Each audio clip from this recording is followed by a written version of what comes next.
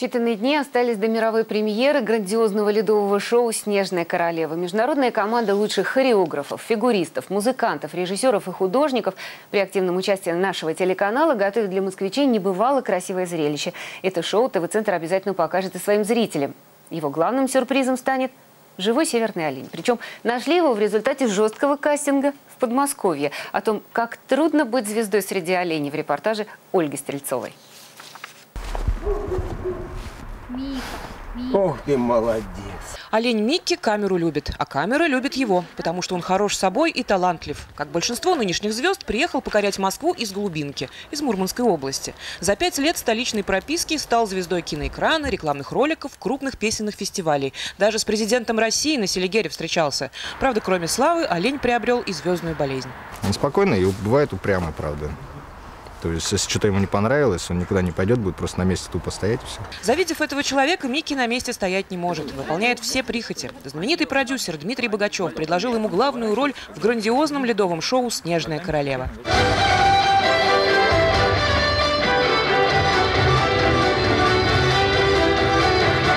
Смелость организаторов шоу заключается в том, что до сих пор никто не решался использовать живых северных оленей ни на льду, ни в многочисленных экранизациях «Снежной королевы». Одно дело – анимационный фильм. Здесь все нарисованные. Ну, миленький, пожалуйста.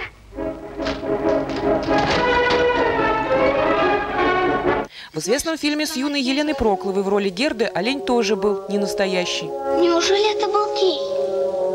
Да, это был Кей. Так и получается, что благодаря новому ледовому шоу, до премьеры которого рукой подать, тысячи людей смогут впервые в жизни воскликнуть «Так вот ты какой, северный олень!». И хоть роль у Мики несложная, ему предстоит на специальных санях провести на глазах у изумленной публики Герду. Готовятся к ней все серьезно. Возле Лужников будет развернута специальная полевая кухня, ягель в наших краях не растет. Придется готовить особые блюда. Плюс особый вольер. Гримерка оленю не нужна, как выяснилось. Более того, а, ему просто необходимо все время находиться на открытом воздухе. Ночью э, олень должен видеть небо и звезды.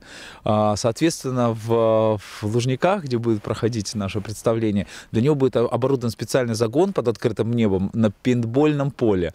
Он будет жить. А, на асфальте нельзя, потому что холод идет от асфальта. А, на траве тоже нельзя, потому что он разроет копытами и все съест. Все-таки не забывайте, что это животное.